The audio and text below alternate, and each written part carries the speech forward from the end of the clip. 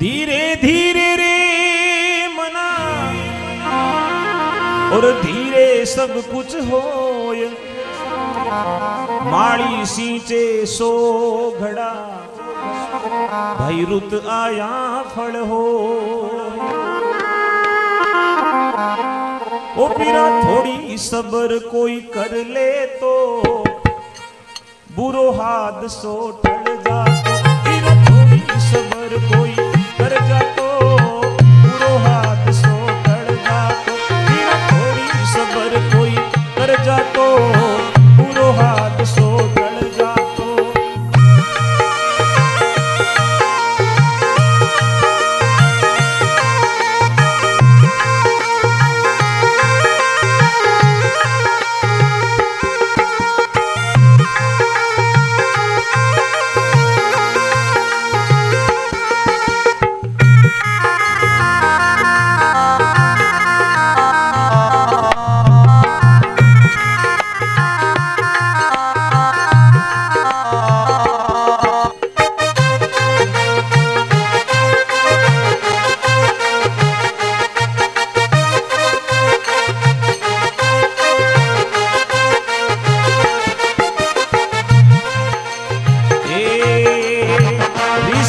रावण लात चलाई, भक्त विभीषण छोटो भाई।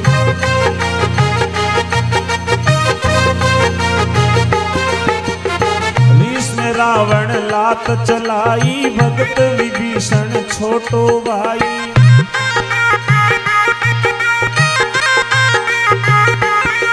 वो लंका छोड़ कर नहीं जा तो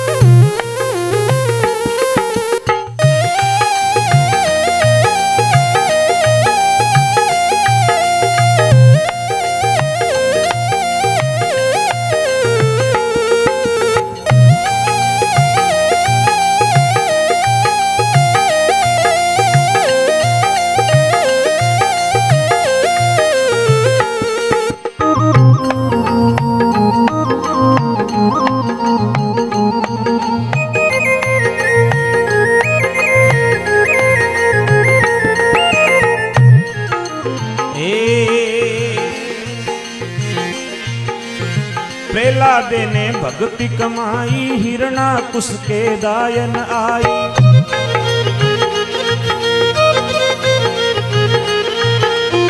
प्रहलादे ने भक्ति कमाई, हिरणा कुश ने दायन आई।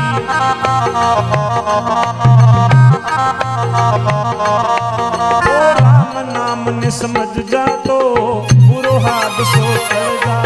ओ राम नाम ने समझ जा तो हाथ सो टल जा तेरा थोड़ी सबर कोई कर जा तो बुरो हाथ सो टल जा थोड़ी देर सबर कोई कर जा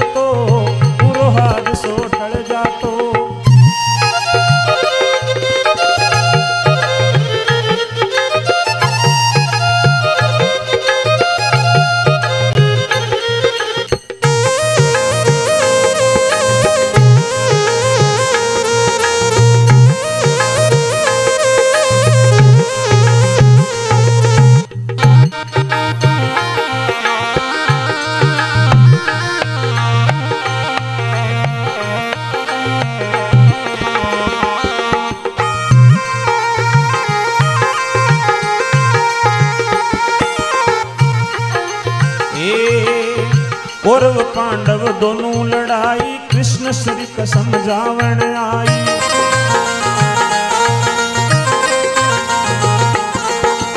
कौरव पांडव दोनों लड़ाई, कृष्ण श्री का समझावण आई।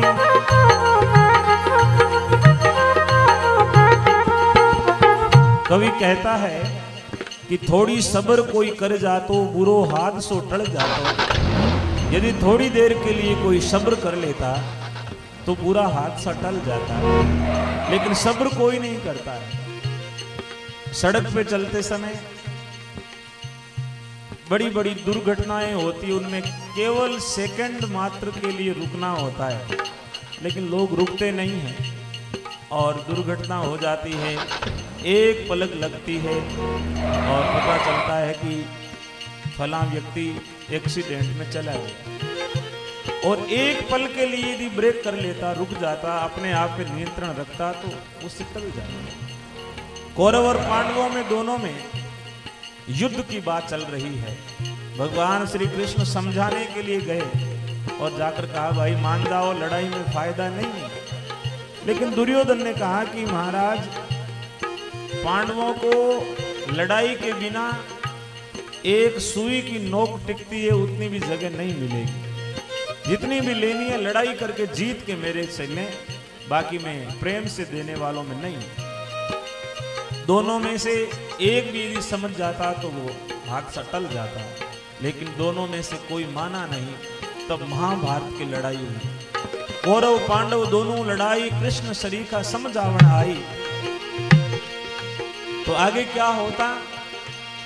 दो नाम एक समझ जा तो बुरो हाथ सो टल जा दो नाम एक समझ जा तो बुरो हाथ सो टल जा थोड़ी सबर कोई कर जा तो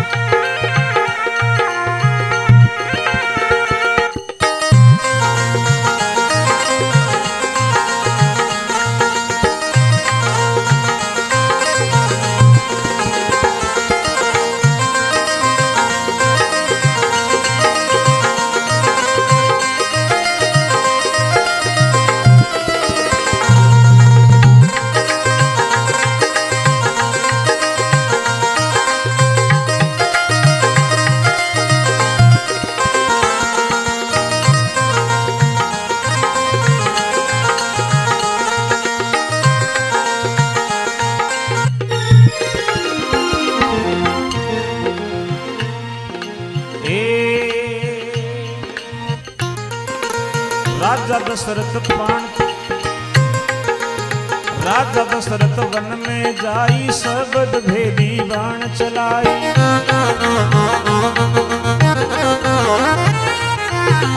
राजा दशरथ वन में जाई, शब्द भेदी बाण चलाई।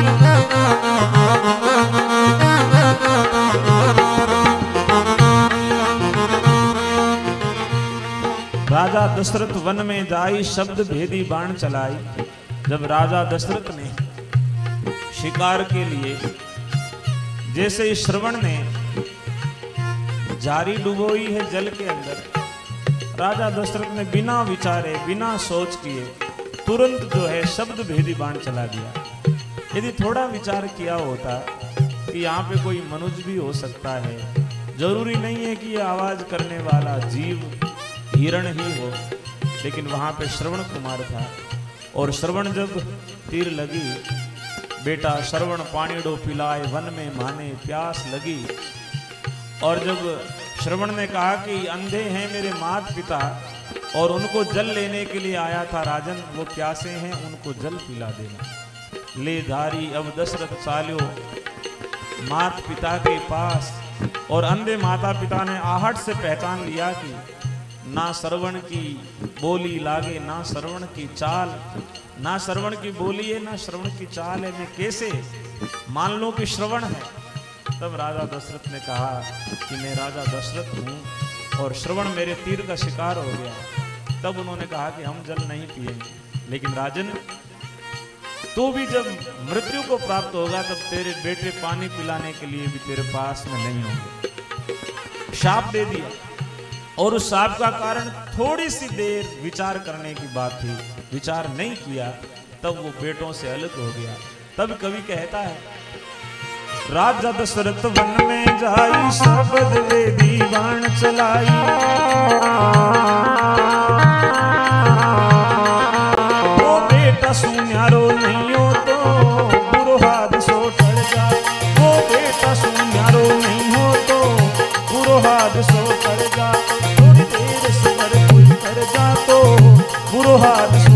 जा तो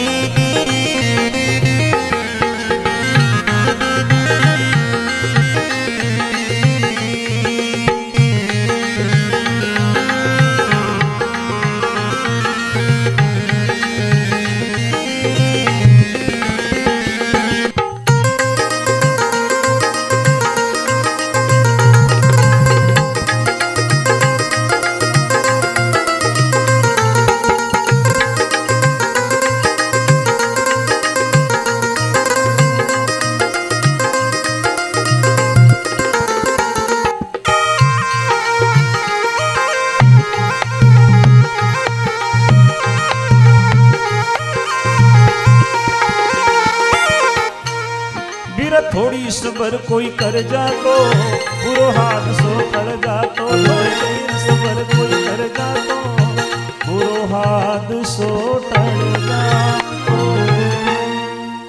गुरु जम्बेश्वर भगवान की, मोर मुकुट बंसी वाले